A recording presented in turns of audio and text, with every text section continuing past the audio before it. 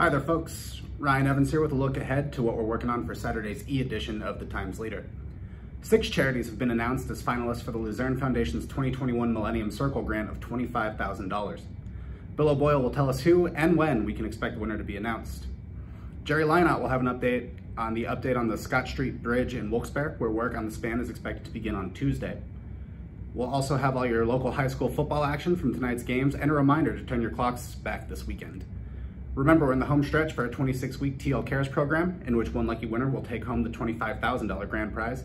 In the meanwhile, you can find the latest TL Cares program code in tomorrow's edition. Track down the code and go to timesleader.com forward slash enter for your chance to win the $1,000 weekly prize. As always, call 570-829-5000 to subscribe. Thanks for watching and have a great day.